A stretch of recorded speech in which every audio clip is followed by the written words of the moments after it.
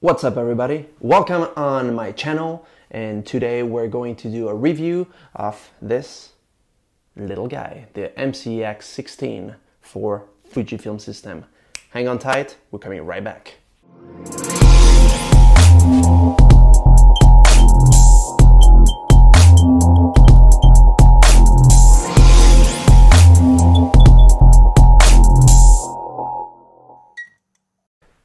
This is the box it came in. Tiny little guy. See? Size of my hand. Alright, so I got this little guy here a couple days ago and uh, I went out to try it out. Really cool little gadget. So uh, this MCEX16 here, I'm basically doing a little review rapidly, quickly, because I um, didn't see much of any reviews on YouTube. I saw a lot of them on the MCEX11, which is um, 11 millimeters compared to 60 millimeters, which is a difference of millimeters. And um, what does that mean in terms of um, shooting? Well, I'm not going to go specific in terms of uh, technical aspect of things because but as you know on my channel I don't go technical I'm more into real life situations. Um, I have done a couple of tests outside and um, here they are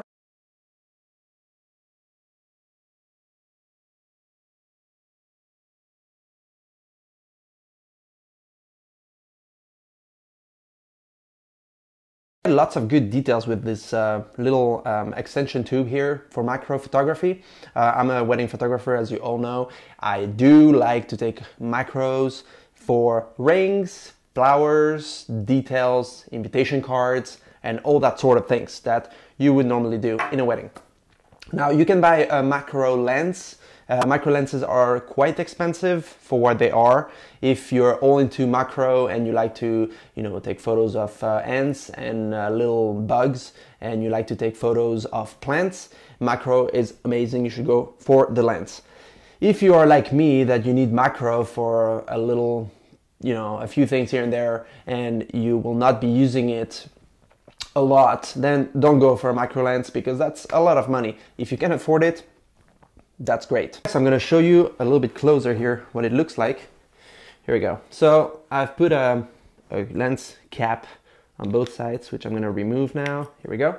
All right, so Fujifilm MCEX16. This is how it looks like. You see you have the red dot right here, and it's a very simple uh, ring basically. You can see the contacts right here.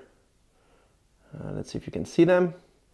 You can see the contacts right here and inside all around here.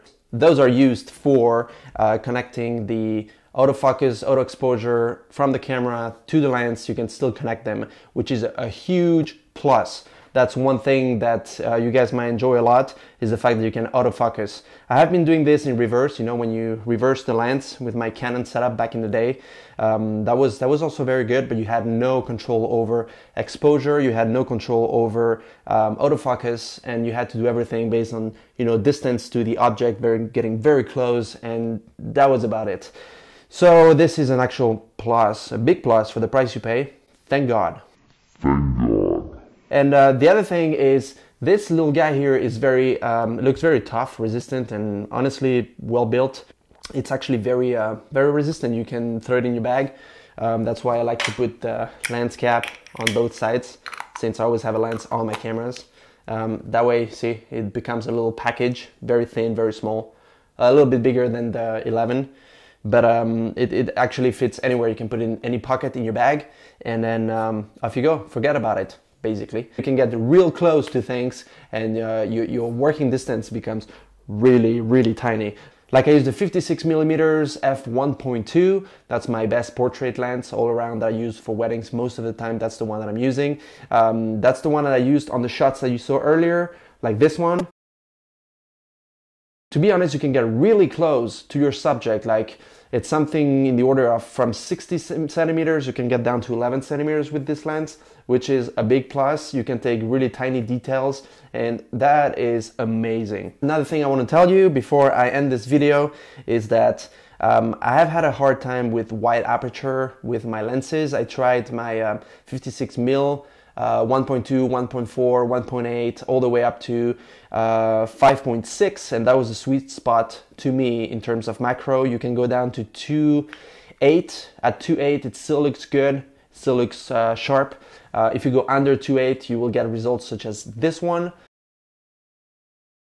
There you go. This is straight out of the camera. You can see that the light becomes um, over exaggerated. Even if I lower the ISO, the shutter speed, and all, all that, what happens is that the, the um, bokeh, let's say, you know, the depth of field becomes a bit creamy and it loses the sharpness. So you don't want to go under 2.8, um, preferably 5.6 because it still allows you to do a good close up into the, um, the, the object, into the macro, and it still looks very, very, very sharp. Such as this photo here with my Tudor watch. Uh, you can see the details. It's very sharp, very nice, very uh, close. There you go. So thank you very much for checking out my video. Um, I very much appreciate all the subscribers. Please subscribe under here if that's not done yet. And like always, stay tuned and keep shooting closely. Cheers, guys. Bye bye. See you in the next video.